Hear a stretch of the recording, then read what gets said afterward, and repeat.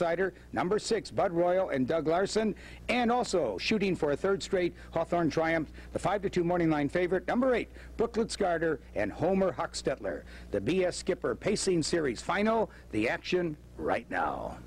Here they come, spinning out of the turn. Possum Hollow kicks in now by two. Brooklets Garter in second. Uh, Dr. Harry O to the outside in third. Coming on Burr Rabbit, racing fourth, followed by Bud Royal in fifth. Down the stretch at the eighth ball, Possum Hollow has it by two and a half. Dr. Harry O racing in second, Bud Royal racing in third, followed by Burr Rabbit to the outside, a late move. But it's Possum Hollow trying to come on Dr. Harry O.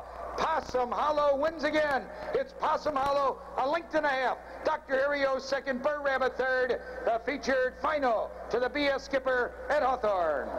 And let's hear it for the winning team. In the winner's circle, the champion of the 1990 BS Skipper Pacing Series, the ninth race, now official.